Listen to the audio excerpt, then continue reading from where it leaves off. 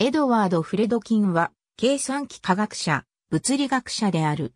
理論計算機科学の分野、特に可逆計算とセルオートマトンでの業績が知られている。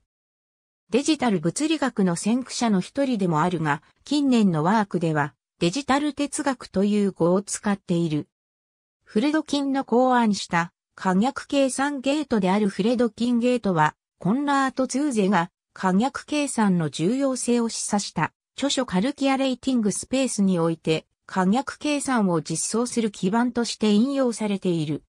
カリフォルニア工科大学を1年で退学し、19歳でアメリカ空軍に入隊しジェット戦闘機のパイロットになった。コンピュータに関わるようになったのは、1956年に空軍の命によってリンカーン研究所で働くようになってからである。1960年代初期には PBN で働き、PDP-1 のアセンブラを開発した。1968年、マサチューセッツ工科大学で教授として勤務。1971年から1974年まで、プロジェクト MAC の責任者を務めた。その後1年間カリフォルニア工科大学で、リチャード・ P・ ファインマンと共に働き、ボストン大学では6年間物理学の教授を務めた。後にカーネギーメロン大学でも教授を務め、MIT の客員教授も務めた。